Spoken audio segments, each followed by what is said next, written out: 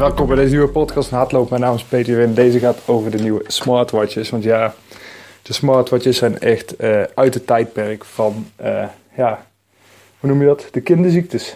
Uh, ik was er nooit echt een super fan van. Alhoewel er wel hele mooie modellen waren, maar ze waren nooit heel erg super goed. Um, ik heb echt super mooie bijvoorbeeld Samsungs gezien. Hè? Dan ben je echt impressed. Echt onder de indruk als je ze voor het eerst ziet. Maar goed voor het hardlopen Nee, niet echt. Niet echt super. Uh, moet er gewoon eerlijk in zijn. Want uh, ik denk een gewoon normale Garmin of Polar, de Polar M200 bijvoorbeeld, die is beter dan soms drie keer zo dure uh, smartwatches. Maar er zijn dus veranderingen. En dat is op zich wel mooi om te zien. Want je hebt um, nu de Huawei Watch 2. En die draait op hetzelfde besturingssysteem. zeg maar even makkelijk gezegd als Garmin Forerunner. Uh, want dat wordt ook voor Garmin wordt dat dus gemaakt. Dat maken ze niet zelf. Natuurlijk hebben ze wel heel veel invloed. Maar het is een ander bedrijf en die heeft dus ook uh, voor de Huawei Watch, uh, waar zeg maar Android of de, de Google software draait dan de versie 2. En die is echt een heel stuk beter geworden. En ook op de Huawei is de hartslagmeter een heel stuk beter geworden. Hij is niet de super mooiste. Hè, wat je wat je had bij de uh, Samsung direct super mooi. Bij deze vind ik wel aardig, maar er zijn de meningen wel over verdeeld. Hij is, een beetje dik.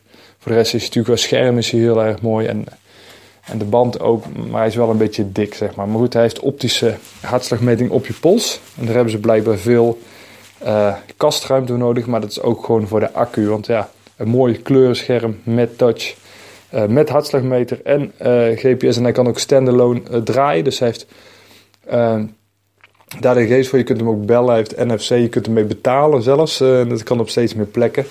Um, echt opkomend, dus dat is zeker mooi. Je hebt ook de LG.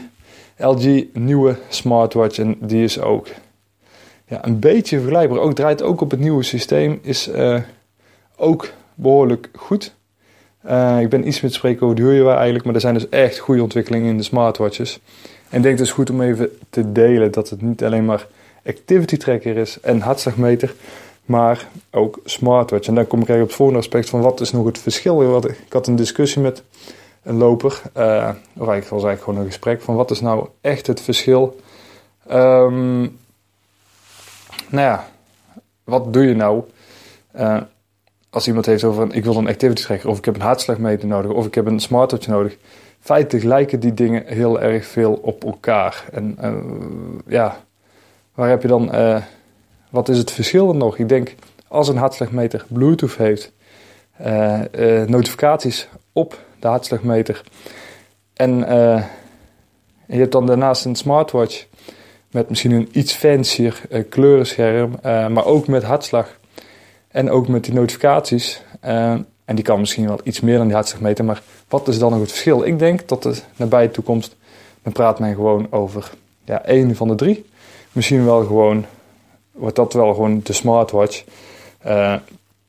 Een activity tracker zal dan meer een apparaat worden die vooral mooi is om te zien. Dus de mensen willen dan geen ouderwetse horloge om hun pols, maar dan willen ze echt een sieraad. En die heb je nou ook steeds meer. Ik heb er al een stuk of vier gezien. Die, die, zijn echt mooi, die herken je niet als zijn de activity tracker. En ik denk dat dat nog wel echt zal blijven. Mensen die het gewoon niet willen laten zien. Of gewoon zeggen van ja, ik wil of een mooie armband om of een activity tracker. Of in ieder geval, dat willen ze niet. Hè. Ze willen gewoon één. Eén van die twee, uh, dat zal gewoon een mooie activity tracker worden. En als mensen iets anders willen, zullen ze denk ik al snel naar een betaalbare smartwatch gaan in de toekomst. Dat is mijn gedachte. Deze Huawei en LG laat al zien, uh, behoorlijk goed zien hoe dat kan.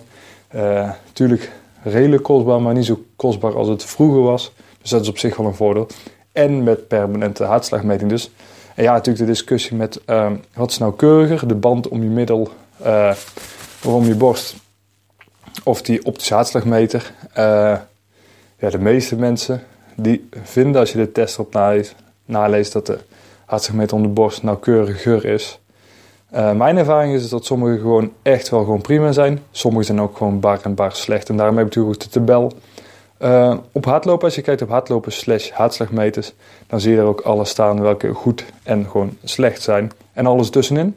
En dan zie je ook de rating die ook andere lopers aan de apparaten geven. Dus je hebt ook de mening van meerdere lopers. Dus dat over de smartwatches.